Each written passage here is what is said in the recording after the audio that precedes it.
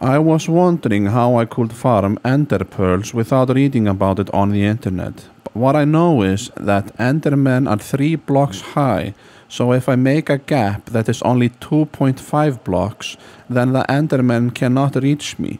So I put slabs on top of me and made room for 2.5 blocks. Then I just look the endermen in the eye and they all come to me, they love me, but they can't reach me because I put slabs exactly 2.5 blocks above me and they can't reach me. So all I do, look all the endermens in the eye and then kill them as they come close to me.